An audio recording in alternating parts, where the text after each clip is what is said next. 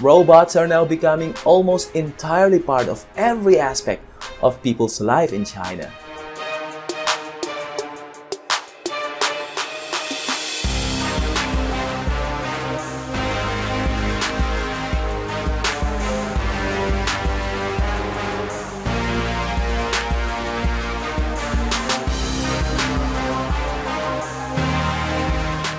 Hi, good day to everyone, Richard Aguilar here and welcome back to my channel.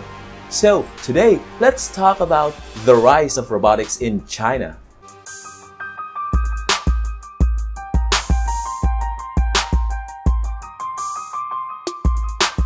In this video, you will see how real robots are now taking part of people's everyday life in China. And in this video, you will see 12 areas of human life that robots are now taking over. So, without further delay, let's head over to my number one. Number one is warehouse automation with robotic workforce. In this warehouse, robots are taking over much of the important works to be done. They work alongside humans and it seems like everything works perfectly fine here.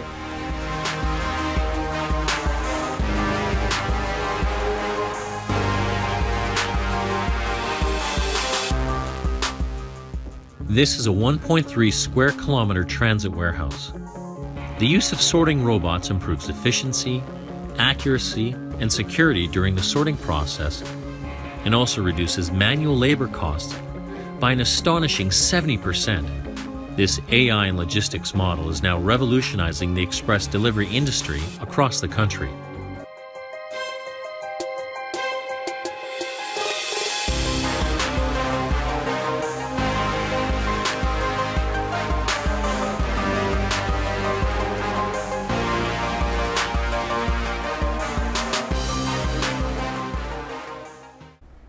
Number two is the manufacturing robots.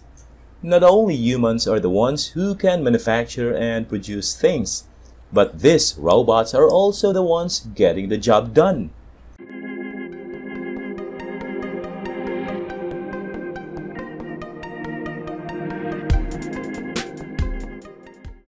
Some 700 machines are working day and night processing screens for smartphones. Tons of machines and tons of screens but very few workers. Yang Wei, a production supervisor, has been working here for three years. When he first started as a machinery operator, things were very different.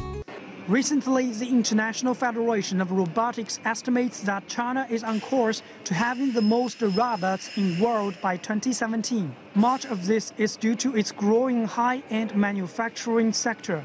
In 2013, China surpassed Japan for the first time to become the world's biggest and fastest growing robot market with around 37,000 industrial robots sold. Number 3 is the police robots. You can be safe here because these police robots are patrolling here.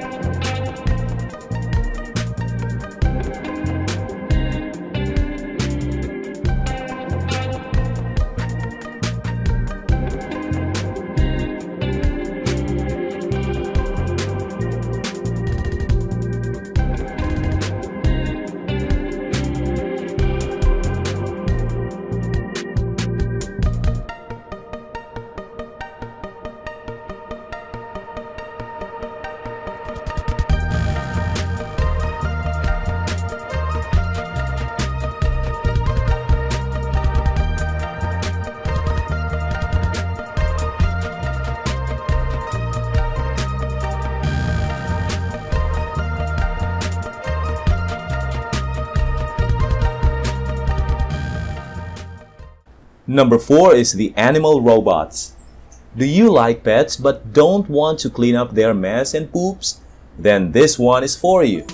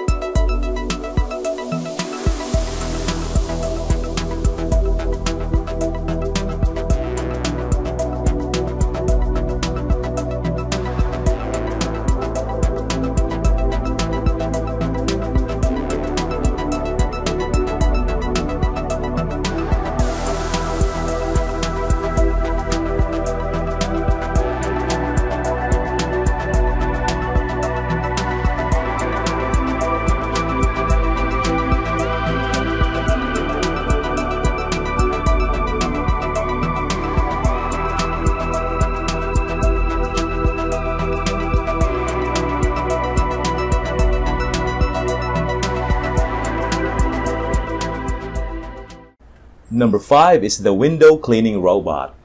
If you forget to clean up your office windows, this robot will do the task.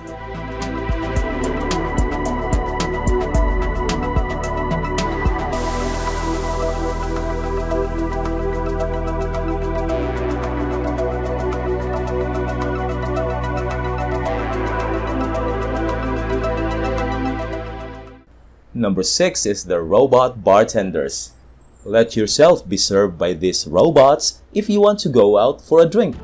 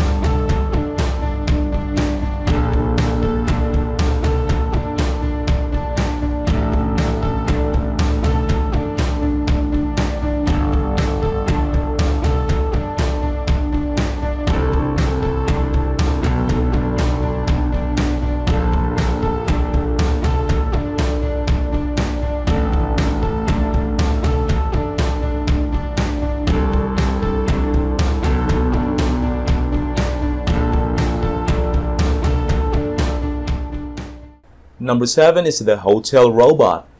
This is a room service robot ready to serve you.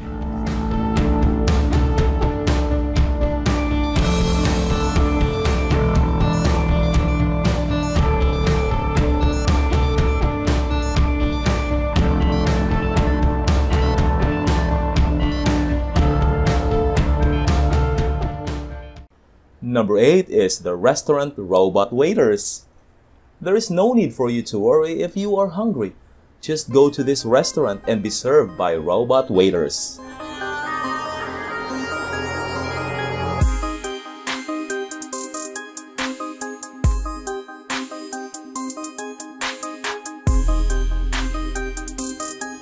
At least the kind of waiters one normally thinks of. Here, the robots do the work, and customers seem to like what the restaurant is dishing up. The robots deliver the food. There are no traditional waiters serving. I think it's quite original. So these advantages make it really convenient and high-tech.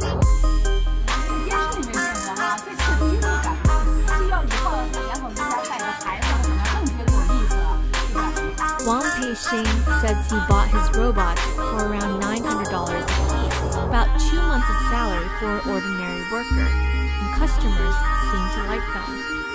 Some analysts say China is undergoing a robot bubble. Mr. Wang says he hopes the technology will improve.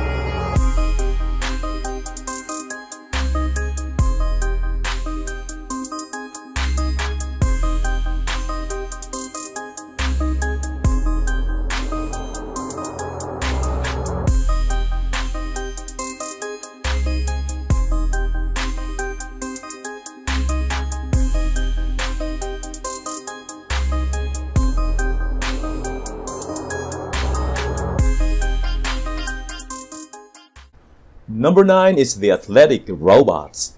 Robots in China can also be in sports like these ones. It might look like toddlers learning how to walk. But even professional footballers had to start somewhere. To build such a robot that can move and feel requires the installation of many sensors to enable them to tell which direction the football comes in, where the goal is located, its position on the field, as well as to recognize its own team and the rival team. Number 10 is robot teachers. These robots can teach your kids if you want.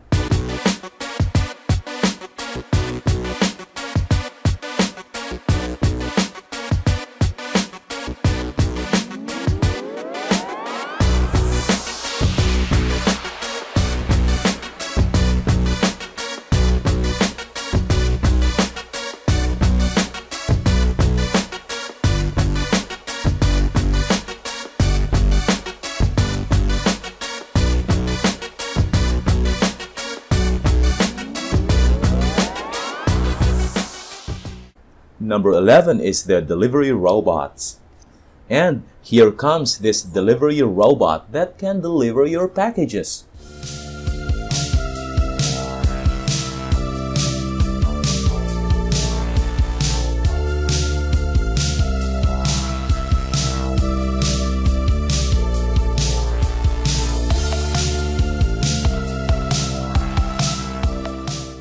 Number 12 is the bank robots.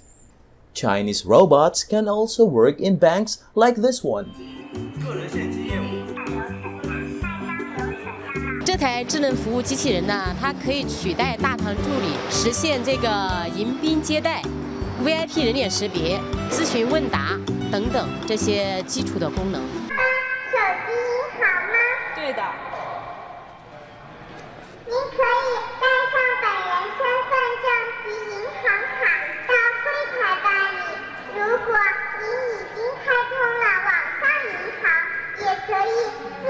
开通哦。未来呢，它还可以实现转账、取款、这个开通网银、办交易等等这些业务。